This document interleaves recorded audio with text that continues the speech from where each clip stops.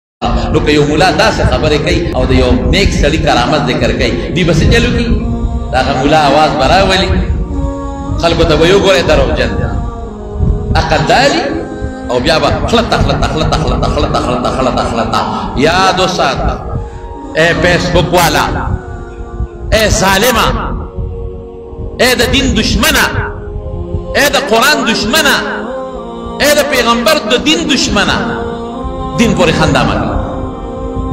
د اولیاء او کرامت پورې خندا مه کوه د نیکانو د خبرو پورې خنداګانې مه کوه هغې نه مذاق مه جوړوه الله به دې راونیسي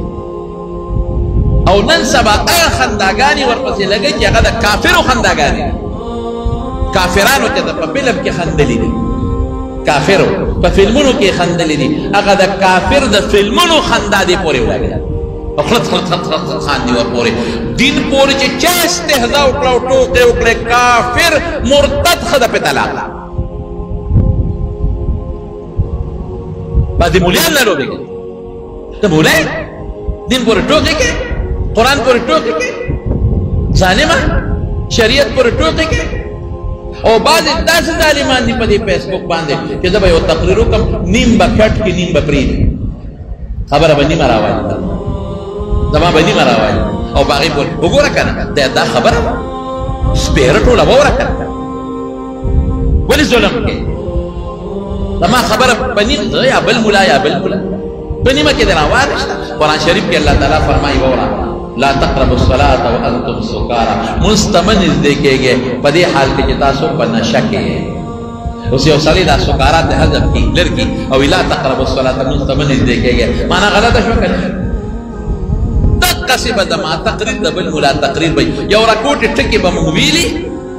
سبا ویلي چې د قرآن شریف تلاوت مه کوئ چې یاره تاسو په خوب دله درځي نو دا یو ټکی به د خوب والا کټ کړي او وایي به چې دا دې ملا وي ګوره که نه د قرآن شریف تلاوت کوه په نیمه کې به کټ کړي او ملا پسې به مخ باندې به وله سره چرخی راکاږي او پورې به خلک خندوي ظلم دې وکړه زیاتې دې وکړه په دې ملا دې دروغ ووایي خیانت دې وکړه دوکه دې وکړه د خدای ظالم او د خدای دشمن تا ته مخکې د حدیثو کتاب پروت دی او دروغ وایي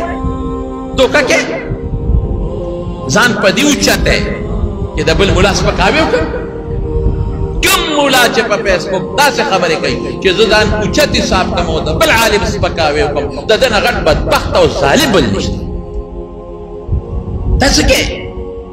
خلکو ته حرام وقایا چې بربند مګر دی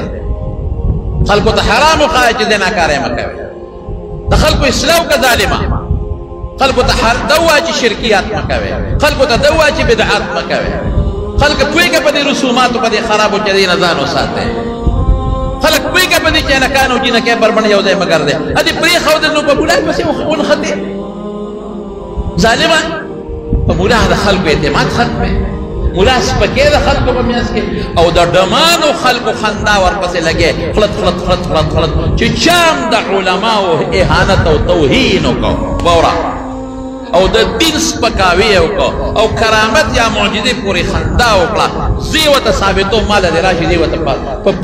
په قرآن او په حدیث او په سنت وته ثابتو ما دا کافر دی دا مرتد دی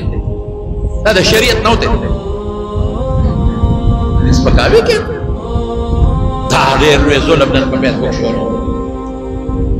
زه به یو خبره وکړم نوم به د چا واده